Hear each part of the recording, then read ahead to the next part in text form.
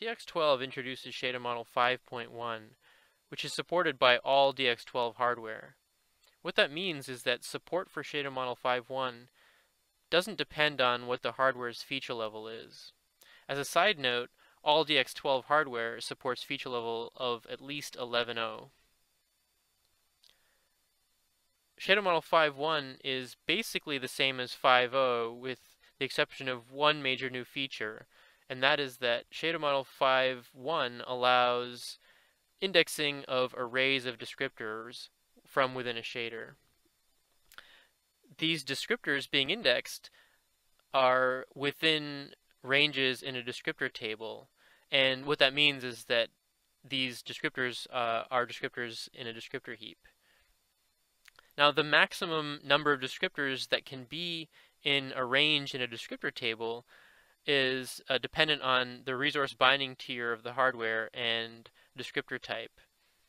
You can see the full definition in the resource binding tier table listed elsewhere. But as an example, consider SRVs, where on resource binding tier 1, the maximum size range in a descriptor table is 128 descriptors.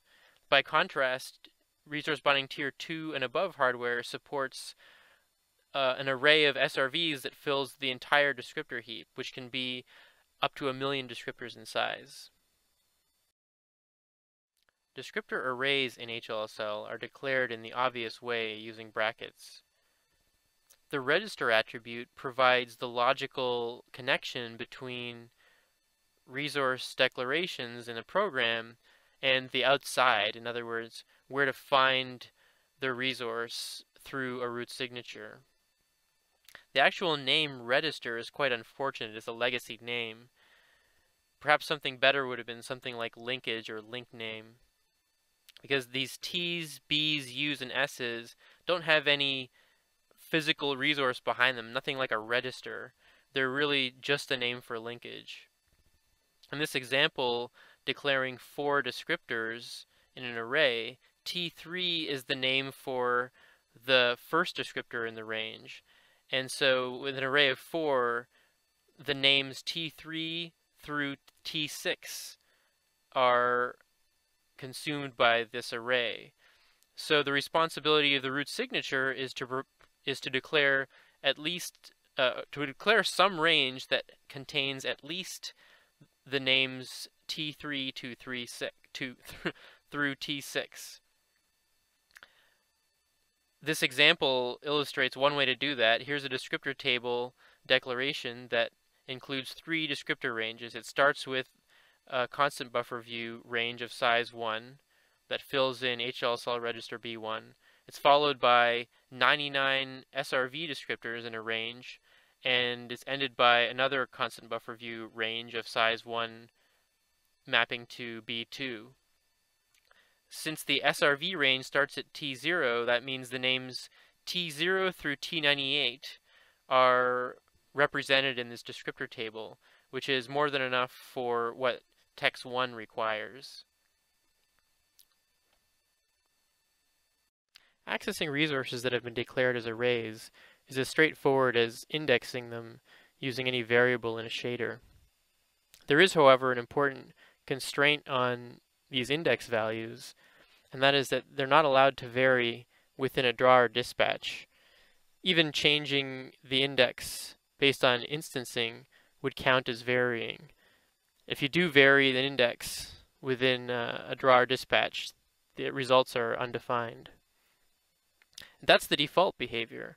Now, if you really do need to vary index values, what you need to do is specify the non-uniform resource index qualifier on the index. On some hardware, that causes special code code to be generated that enables uh, divergence in the indices across neighboring threads uh, that that are running in lockstep in, in the hardware. Uh, so so there's a slight uh, inefficiency there, but it, it also provides correctness. Now you know you don't want to take that inefficiency if you know you're going to have uniform accesses. The reason that the default is uh, uniform access is it's assumed that this will be uh, the most common case. This is just a quick point about where descriptor arrays can be in memory. They can only be backed by a descriptor heap memory. In other words, there's no support for arrays of root descriptors. The reason for that is that the implementation of root arguments on some hardware isn't array friendly. I'll go over a couple of subtleties with descriptor arrays here. Recall that when descriptor tables are declared as a sequence of descriptor ranges, the last range in the table is allowed to have the num descriptors be declared as unbounded. The HLSL code that would match that would be this empty bracket syntax. Now, there's also a couple of other valid configurations. You could declare an unbounded size array in your HLSL code, and that would be valid to match with a root signature that had a fixed size num descriptors for the matching range. The other way around is also valid. You could declare an array of fixed size in HLSL, even though the root signature declares that the array size is unbounded. Multi-dimensional arrays can also be declared, and they simply get flattened out in the register linkage space.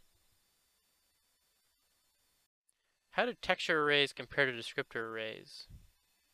Texture arrays have been around since DirectX 10. With a single view or descriptor, you can get at all the slices in the array. The major constraint on texture arrays being that for all the array slices, the format, width, height, and number of MIPS has to match.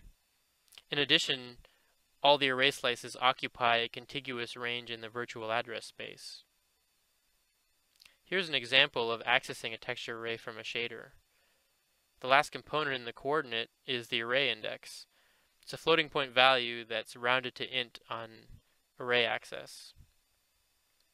The index value can vary freely without any need for qualifiers or attributes like this non-uniform resource index attribute, which is actually required with descriptor arrays when their index varies anywhere within a draw or dispatch.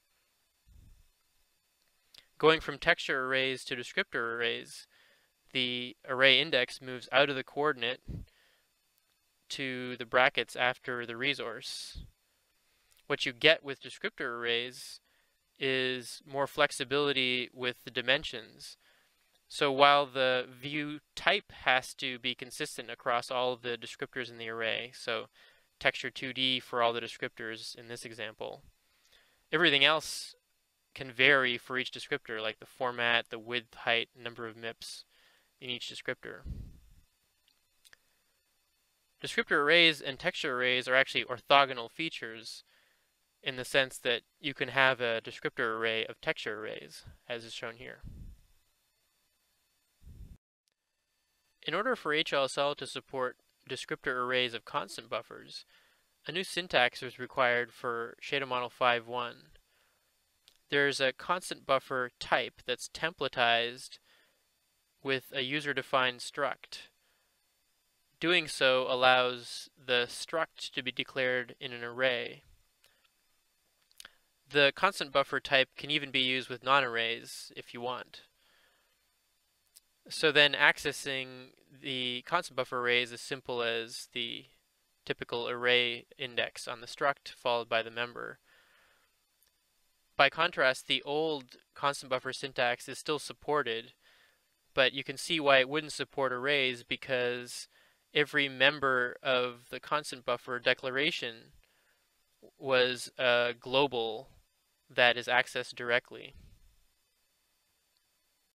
There's a constraint in the way descriptor arrays can be laid out in HLSL that's worth mentioning. What you can do is declare a bunch of arrays of individual descriptors, as you can see here. One way that you could lay these descriptors out in a descriptor heap would look like this. What you can't do is declare a struct containing individual descriptors and then declare an array of that struct that you could then index from within the shader this would have allowed you to arrange your descriptors in a descriptor heap like this, and then index the entire struct as a unit. The small advantage to this might be that if you do, if you can measure the latency of the descriptor access in memory, there might be a small savings in being able to have neighbor descriptors that you will access close to each other in the program be co-located in memory. A mitigation to this is that is supported in HLSL is to forego the dynamic indexing from within the shader. And so instead of declaring a struct an array and an array just simply declare the individual uh, descriptors and just use uh, descriptor tables to uh, point to these. So you could still have this memory layout and you use descriptor table pointers, or in this case just a single descriptor table pointer uh, can give you access to the individual chunk of descriptors that you want. But what you can't do here is change this descriptor table pointer from within the shader. You, you set this outside the drawer dispatch on the command list. Shader Model 5.1 has the notion of register spaces. This isn't a hardware feature, rather it's a language construct there to help improve the linkage flexibility between root signatures and shaders. The vanilla register attribute in HLSL gives you the names in the case of shader resource views, T0 to T uint max that you can use for connecting uh, declarations and shaders to declarations in a root signature. What the register space does is turn that into a two-dimensional namespace. So by default, uh, by omission, the register space is space zero. But if you choose to add the space qualifier, you can do something like this. In this example, we have two resources declared both using T0, but one of them has space 1, so it doesn't conflict. One of the things that this lets you do is have different components in your software that can independently define or use up the namespace. So each component, you don't have to try to reserve ranges of the T registers across components. Each one can just have its own space to work with. The more important use for register spaces is for the fact that Shader Model 5.1 allows for very large or even unbounded arrays to be declared. In this example, text3 is an unbounded size array whose beginning is bind slot T4. So what what this uses up in the register namespace is T4 through T uint max in space 0. So that's pretty much all the space. So what if you want to declare more stuff? Well, you've got T0 to T3, that's only four slots, but what if you have you know, all kinds of uh, extra bindings you want to declare, potentially other arrays. So using space, in this case, T8 is declared with space 1. That doesn't conflict with the T8 that's in space 0. This next pair of slides shows how to make sense of the way resources are named in the disassembly of a compiled shader model 5.1 shader. Recall that the FXC tool can print out the disassembly of a shader as a convenience so you can get a sense of what the compiler did to your shader. To start, here's an example HLSL program that declares a few textures, text 0, text 1, and text 2, and a sampler, samp 0. Note the register bind names, T5, T10, T0 space 1 and S5. What you'll see next is these names in the disassembly preamble followed by alternative names that are actually used in the actual disassembly and an explanation for why there's two sets of names. Here's the disassembly of the compiled shader model 5.1 program. Preamble followed by declarations followed by the actual code. You'll notice at the top right of the preamble there's an HLSL bind column. That shows the bind names that came from the original program. To the right of that, there's a column count. That shows the array sizes of each variable. For example, text1 was declared as an unbounded size array, and text2 was declared as uh, an array of size 8. The ID column is interesting. It's the, you'll see that there's all new all caps names that are replacing the HLSL bind names. So the ID names are the names that are are local to this disassembly and the bytecode. Looking further below in the declarations area, you'll see the declarations list these names in the same order that they show up up in the preamble, so it's sort of easy to track between the two. The reason that new names are provided uh, and used uh, locally is to disambiguate cases where there's potentially more than one array and allow for call sites to not have to use qualifiers like space, for example. So in this case, instead of saying T0 space 1, we can just say T2. And you, on the right over here, you can see an example of a reference from the shader. Looking back at the declarations, you'll notice that every resource appears as if it's an array, whether it's an array or not. So for example, the sampler up at the top S5 was not an array, it's just a count of, of one. But you'll see in the declaration, it shows up as S0 bracket 5 colon 5. The 5 colon 5 illustrates the array range that the bytecode is going to use to pick the sampler. Since it's size 1, it's only going from 5 to 5.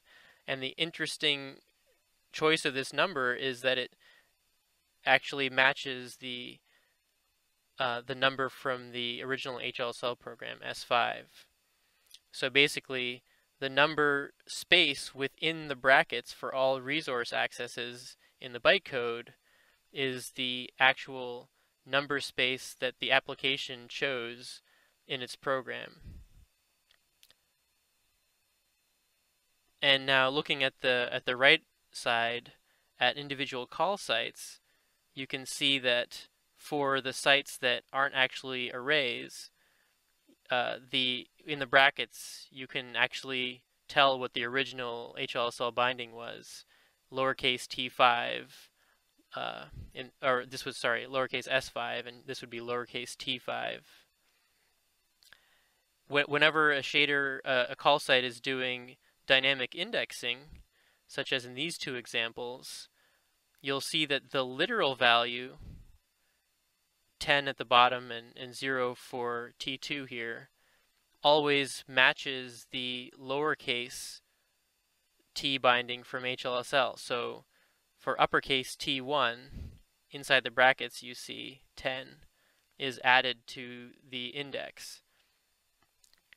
And so what that means is that the range of values being indexed is a match for the binding range from the HLSL program. In this example, T10 and above. That's it. Thanks for listening. I hope you found this useful, and I'm excited to see what you create with the new low-level graphics APIs. Happy bindings.